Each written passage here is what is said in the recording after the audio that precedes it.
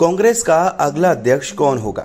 इस सवाल का जवाब कांग्रेस कार्यकर्ताओं और नेताओं के अलावा कांग्रेस की विरोधी पार्टियाँ भी जानना चाहती हैं। ऐसा इसलिए क्योंकि कांग्रेस पर परिवारवाद का आरोप लगते आए है और भाजपा हमेशा ये कहती आई है कि गांधी परिवार के अलावा इस पद पर कोई आसीन नहीं होगा।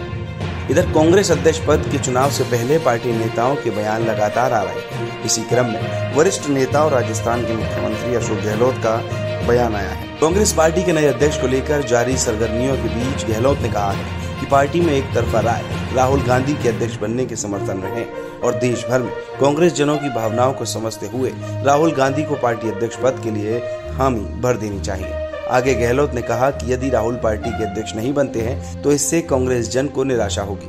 कांग्रेस के नए अध्यक्ष को लेकर जारी अटकलों के बारे में पूछे जाने पर गहलोत ने यहाँ पत्रकारों से कहा कि राहुल गांधी को अध्यक्ष बनना चाहिए।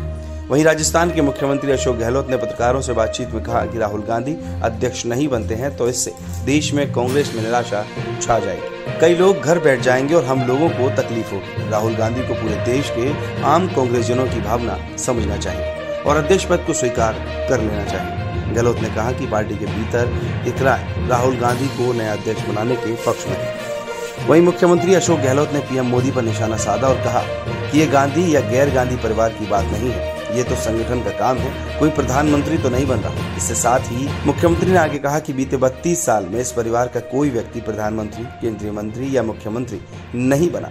तो फिर यानी नरेंद्र मोदी जी इस परिवार से डरते क्यों हैं? मंत्री अरविंद केजरीवाल को कहना पड़ता है कि पचहत्तर साल में कुछ नहीं हुआ देश में। तो सब लोग कांग्रेस पर ही हमला क्यों करते हैं? अगर आपको भी ये वीडियो पसंद आई हो तो इस वीडियो को लाइक ज़रूर करें।